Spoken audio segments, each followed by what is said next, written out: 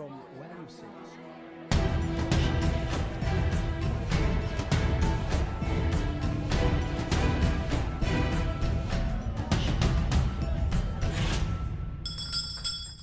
Well, many thanks for joining us for another scintillating episode of The Trading Bell. This week on the program, we shall be speaking to the CEO of Isuzu East Africa, and that is Rita Kavashe, who will be speaking to us on the automobile industry in Kenya and what it has to offer even for the region. But really, who is Rita? Let's take a look at her profile. Rita Kavashe is the managing director of General Motors East Africa Rita received her bachelor's degree in education from Moi University in 1991 and a master's degree in business administration from the University of Nairobi in 2005. Her career began in GM in 1995 in its East African operations, where she has worked for the last 21 years. During this time, she has been exposed to critical aspects of the business operation. After a series of moves with increased responsibility, she was appointed the Sales and Marketing Director in April of 2006 and then Commercial Director in September 2008.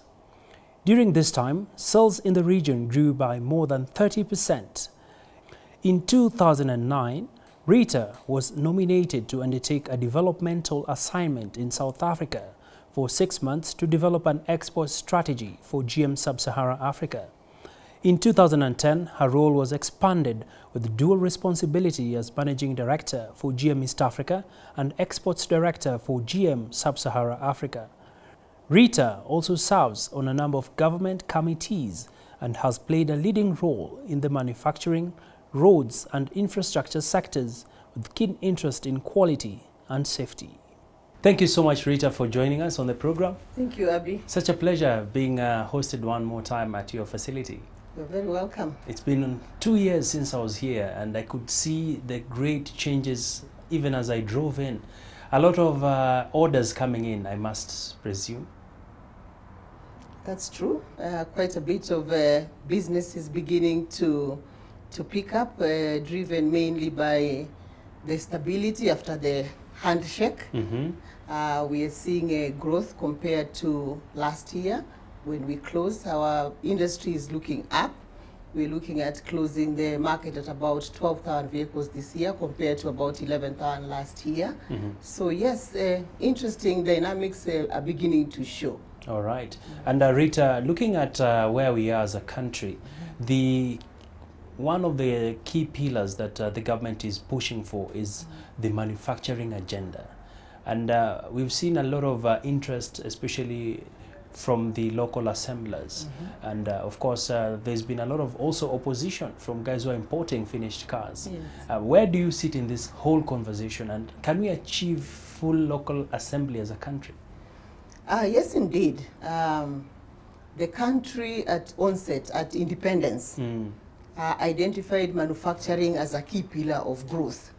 And that is how companies like uh, Isuzu, uh, then General Motors came into, into the country to form partnerships with government. As you may be aware, our company is co-owned between uh, Isuzu Motors Limited of Japan Mm. and the government of Kenya as well as Centum Investment. So in terms of opportunity for manufacturing, uh, East Africa, Kenya as a regional manufacturing hub is, is still uh, is still there. There is still great opportunity. Mhm.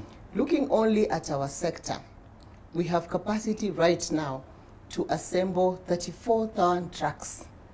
We are assembling uh, only 6,000 trucks per annum. 34,000. That's like three times. Three times. That is just the capacity that is installed today. Mm. Uh, we are importing about 15,000 trucks uh, into the market. That tells you that today, uh, Kenya is able to assemble our total need of trucks.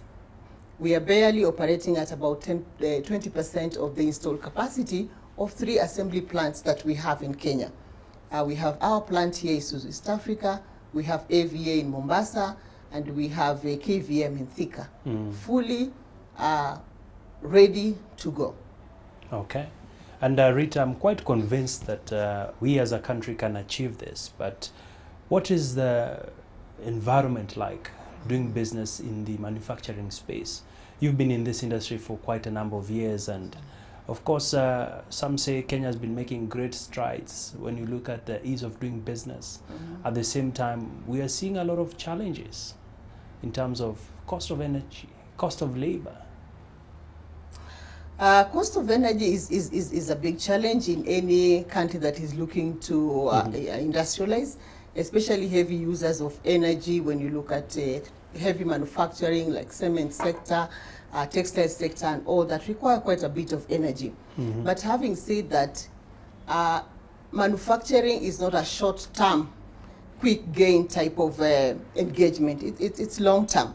Uh, as I've mentioned, we've been here uh, for the longest haul, and we have been in the country as we went through different seasons of growth. Yeah. We still strongly believe that uh, manufacturing is the way to go, and uh, the the pillar of manufacturing uh, is, is a very critical pillar when it comes to enabling the rest of the pillars uh, to be to have impact and to take effect. Job creation is, is, is a big opportunity that we have in manufacturing. When we scale up manufacturing in my industry alone, if we increase production from 6,000 vehicles to 18,000 vehicles, you can see the dynamics that will come there as far as job creation uh, is concerned. So when the, you have increased uh, production, then your, your cost uh, of production also reduce, and therefore your products become more affordable uh, to the end users, to the customers, uh, and enables other um, value chain manufacturing to start to take place. Looking at our sector, you, we manufacture the chassis, but there's a whole supply chain Behind that is it. behind it that is Yes. manufacturing a lot more products. You- We have manufacturing of bodies, we have manufacturing of tires, we have manufacturing of automotive seats, wiring harness. So one manufacturing uh, uh, sector can create outstanding level of, jobs. So that's why we really must drive manufacturing in Kenya. All right. And as we drive manufacturing in Kenya, um, what is your feeling right now in terms of what do we need to address so that we can give this industry the kick it deserves and we can compete with uh, neighboring countries like Egypt, South Africa to get to the level where we're saying even owning a car will be so affordable. As we speak, if I want to buy a D-Max right now, Rita, I can barely afford it, you know? And this is the common situation we are seeing with a majority of Kenyan farmers who would like to carry their produce properly to the market, but affordability. No, that is very that is very very true, and uh, policy, uh, steady government policy is is very critical to spur manufacturing, attract investors who will come with new technology, new skills, uh, to support competitiveness in manufacturing itself. Uh, and for instance, in our sector, we are right now in the process of uh, coming up with an automotive policy. Can you imagine uh, companies like mine have been investing in the country purely on, on good faith basis Yes. that uh, we think we are okay. But if we have a policy, then more companies that are looking to set their hub, Kenya, to manufacture will then be able to come. South Africa, Egypt, they have very clear incentives that are embedded in policy. Policy without incentive that is not attractive in itself. But if there's a clear policy, it's I like that. it's going to take uh, five, this policy is valid for a period of 10 years. These are the very clear incentive. Then someone is able to uh, do the maths and say, is it worth for me to go and invest in Kenya or to take my investment uh, in another region? So that, that uh, policy is very key.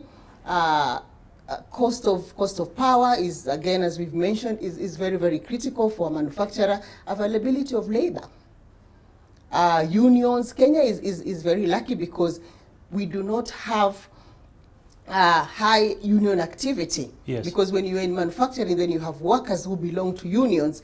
And if those unions are striking every day, that also can uh, prevent an investor from coming in country. So those are some of the key variables they look at. Is, is labor available? What is the cost of doing business uh, in that country? Is, the is there political stability for me to take my investment into a country?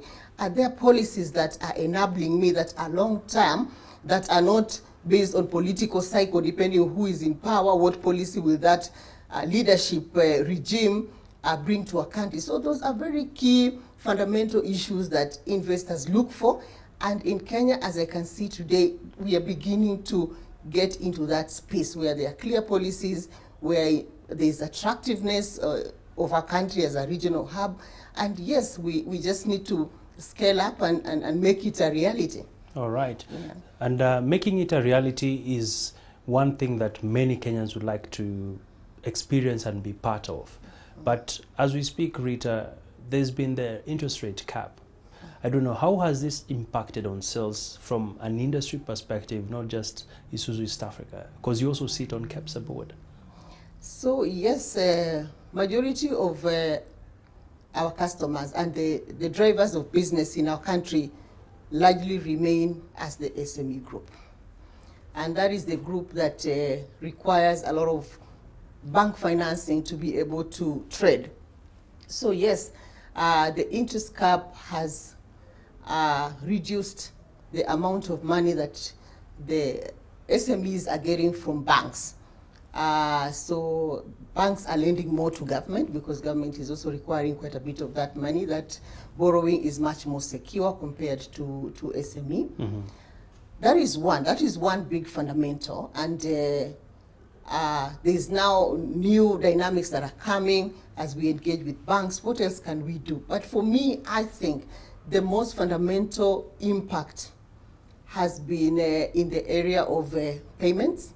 Uh, SMEs are not getting paid on time, so they are not able to really turn around their business and, and, and scale up. There is still some funding that is available, not enough, but to me, the core of the slowdown, especially in, in different sectors, is payment and government not engaging in developmental projects All right. when there are developmental projects in the, in the, in the country, then there is some good economic activity going on and there's money available for people to, to borrow. Yeah. All right, Rita, as you sip a glass of water, my next question is about the future of manufacturing. We are seeing a lot of uh, robotics coming in to sort of make the process more effective, you know? And this has a big impact when it comes to the production capacity. And uh, I know you guys follow the Kaizen model, uh, which is one of the most used in the world, especially for manufacturers. But should we be worried about the pace technology is coming with? We are seeing driverless cars. We are seeing uh, uh, environment-friendly cars that are really big on uh, uh, aspects that uh, we'll be catching up with as a continent. But some countries have already gone that route. As you look at your crystal ball, Rita, what does the manufacturing industry going to look like, say, in the next five years? Uh, I think manufacturing in our side of the world, there is gonna still be a balance between human labor and uh, some good level of automation.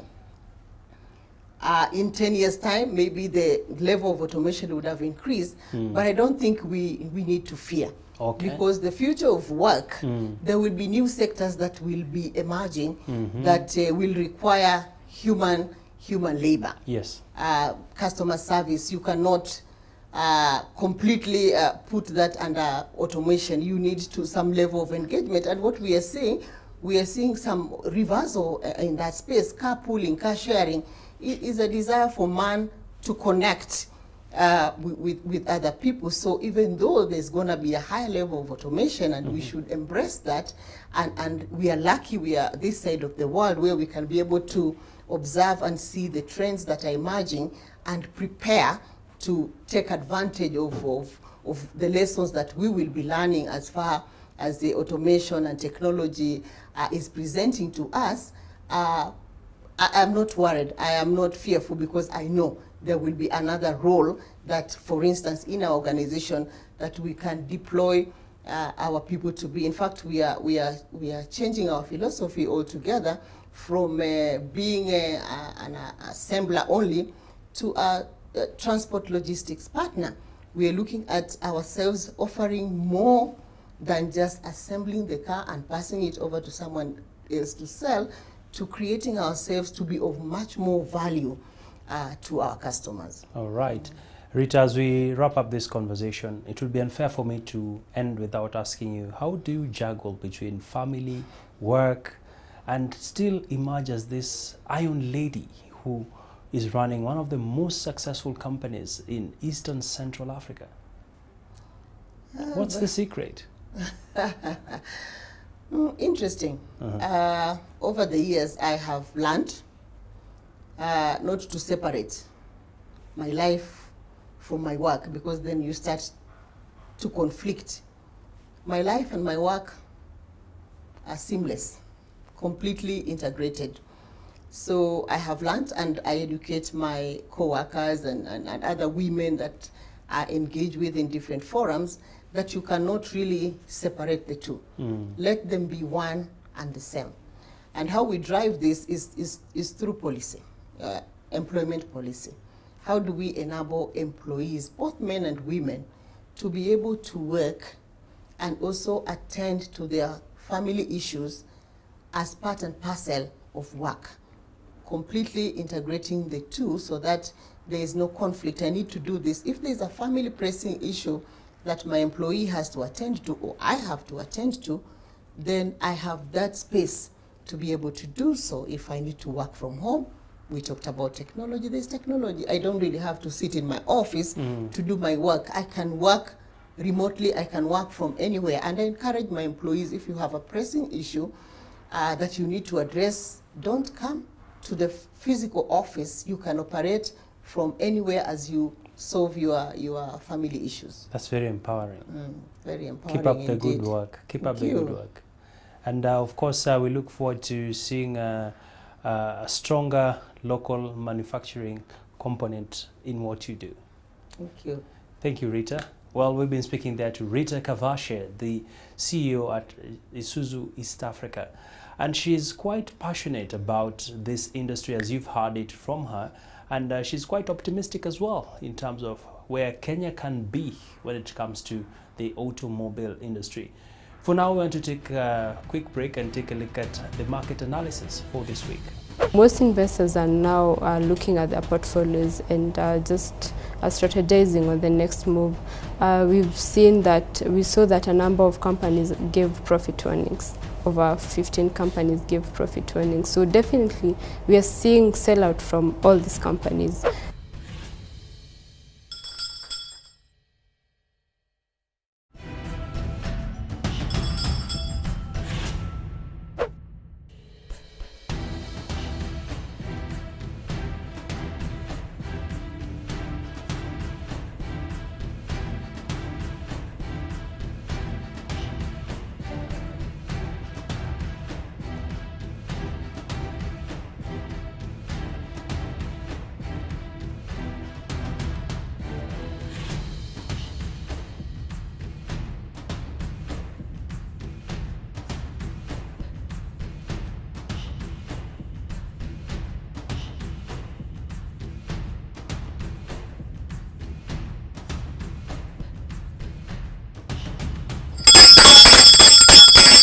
Well, that sound signifies the close of trading for today, and it's time for us to take a look at how the markets closed on this particular day. And we're joined by Elizabeth Wangeshi from NIC Securities. Thanks for joining us. Thank you for hosting me.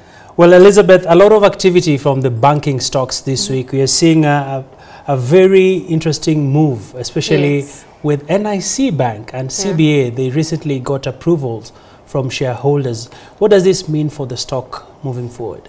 Uh, I think right now, um, first of all, uh, with now all approvals from CBA and uh, NSC shareholders, I think now the remaining part is now waiting for approvals from the regulators across different countries.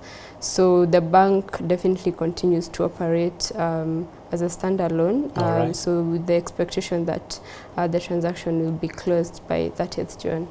All right, this will Yes. make NIC CBA the third largest, Largest privately owned bank. Yes. And of course, uh, this domain has been dominated by KCB, Equity Bank. What are the fortunes for the banking sector in totality? I think uh, the direction that you're seeing uh, the banking sector heading to is uh, more consolidation. Uh, we've seen today's news of uh, KCB acquiring uh, NBK shares. Sure. So we expect to see mm, a lot of banks, especially the tier three banks, uh, being um, acquired or other banks merging across right. across the sector. So there's a lot of positive energy with the banking stocks. Does it mean uh, we are likely to see more acquisitions and mergers? Definitely, I think it's in the offing. Uh, with uh, now we have a lot of um, a large number of uh, mini banks across the sector. Mm -hmm. So, and looking at our population, definitely. And uh, when you look at uh, now, the margins have been shrinking over the time. Mm -hmm. Uh, cost, um, cost efficiency, NPLs also have been rising. So it would really make sense uh, for consolidation, having uh, less and lesser banks. All right. Yeah. And uh, Elizabeth, I know we can engage day in, day out about the banks, Mhm. but let's shift gears a bit now and talk about the NSE performance. This week, the NSE 20 has, a, has been a bit edgy, if you ask me. Yes. And uh, I'm seeing today it's closing at 2,918.81 points. It's down by 1.67%. What could be some of the dynamics facing the market? I I think there are a number of factors that we've been seeing uh, uh, with now the close of uh, financial results announcement. Yeah. So most investors are now uh, looking at their portfolios and uh, just uh, strategizing on the next move. Uh, we've seen that we saw that a number of companies gave profit warnings. Over 15 companies gave profit warnings. So definitely we are seeing sellout from all these companies. So, but we've seen uh, again um, interesting uh, move, uh, more investment in the banking company, uh, ban banking sectors, uh, telco, East Africa breweries, and a few select companies. So, are you saying it's the best time to buy a banking stock I would say selectively, selectively? yes, looking at the strategies the, Mhm. uh, the bank is implementing, and also looking at uh, is it the best time to buy, looking at where it's trading at in terms of the multiples. All right. Yes. Let's look at the top movers this week, and I'm Mhm. seeing KCB again. It's up by 4.061 million shares.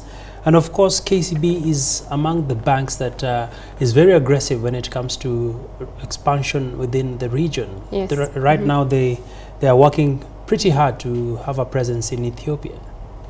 So uh, yes, so KCB I think uh, being the top mover this week, uh, it was really uh, being propped up because of today's uh, trade Mhm. uh, with the announcement of uh, the acquisition of uh, NBK. yeah. So we saw a lot of activity and interest from uh, from investors. So expansion for KCB is a key uh, a key strategy for them, so that they look at more revenue streams. So because the top line is really shrinking. So Mhm. the other aspect is now more of expansion, uh, looking for new partnerships across different markets and just growing the non-funded income.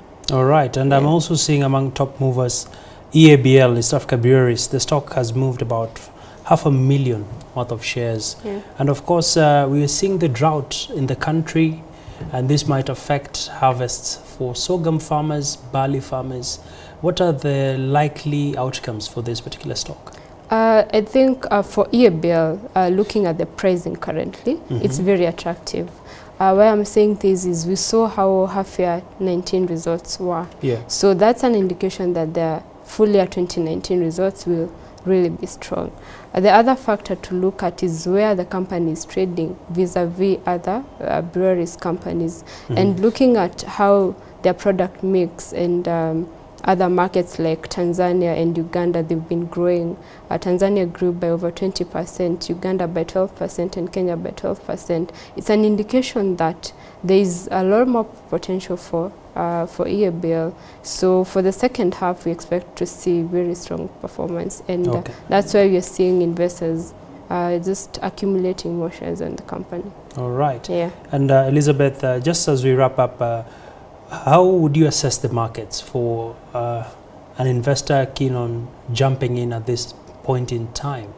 Because I'm seeing a lot of uh, trades happening throughout the week. We've seen uh, the turnover has also really shot up for the last few months.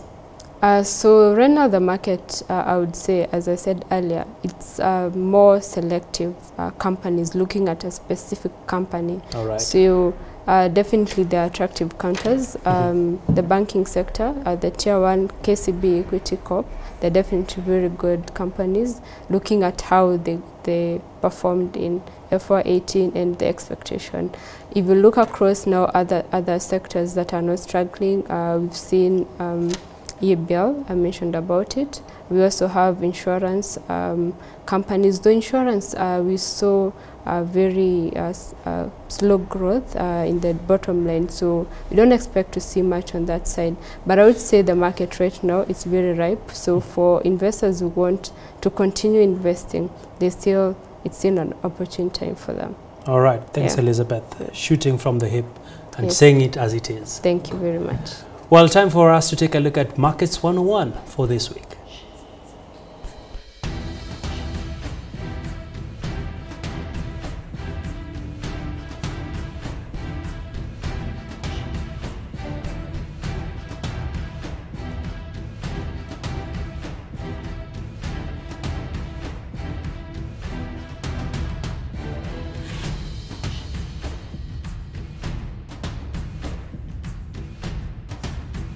Well, time now for my favorite segment of the program, and it's time for Question on the Street. Today, we are taking a question from our social media platform. We are getting a question from Tolbert, and this is what he is asking What is the difference between a stock being halted and being suspended? Over to you, Elizabeth. Uh, when a stock is halted, it means that the stock will not trade uh, temporarily. It could be for a few hours or a few minutes. Uh, suspension means it's a definitely longer time and uh, they give direction as to when the stock will start trading. Well, thank you, Elizabeth, for your very cogent answer there. Well. Time for us to take a look at uh, the historical facts as we take you down memory lane.